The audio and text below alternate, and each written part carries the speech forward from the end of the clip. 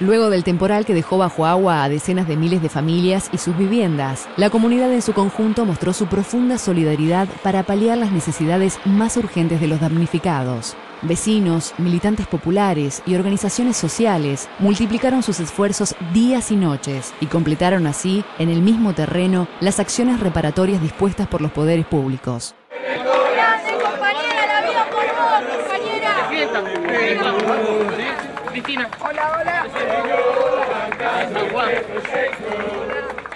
En definitiva, si tenés que sintetizarlo de alguna manera, los que están acá creen en el otro y por eso están acá. Si no creyeran en el otro, si no creyeran en que vale la pena ayudar al otro, no estarían sentados acá ni estarían haciendo lo que están haciendo. Creen en el prójimo. Como dije el otro día en Madrid, sin saber todo lo que estaba pasando y lo que había pasado, la patria es el otro. Y bueno, la pegues no, no me equivoqué.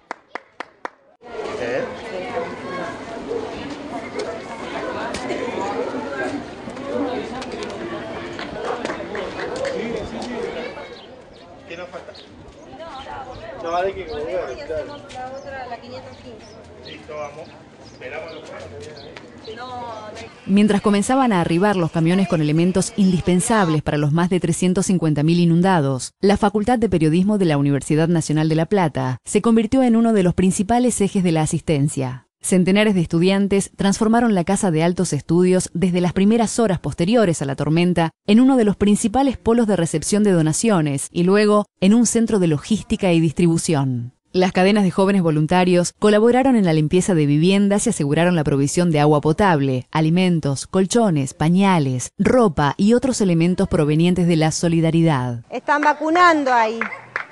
Está el médico para niños y para adultos. Nos trajeron colchones y, y medicamento, y mercadería y ropas. Nosotros lo que estamos haciendo es organizándonos entre los vecinos para darnos una mano. Eh, yo me quedé como sin casa porque la tengo recibiendo cosas para darle realmente a las personas que necesitan y organizarnos entre nosotros. Quiero agradecer a la gente, a la gente de particular por toda la solidaridad, por cómo colaboran. Mi casa eh, es donde están trayendo las cosas. Eh, yo saco para mis hijos, pero dejo también para los hijos de los demás porque estoy, estamos todos en la misma situación. Gracias a Dios nos está dando la mano toda la gente, ¿no? que es muy buena. Y bueno, y ahora nos está dando la mercadería, zapatillas, contenta. Y bueno, y agradecido a toda la gente ¿no? que nos ayuda. Los medicamentos, que era lo más importante, ya los conseguí.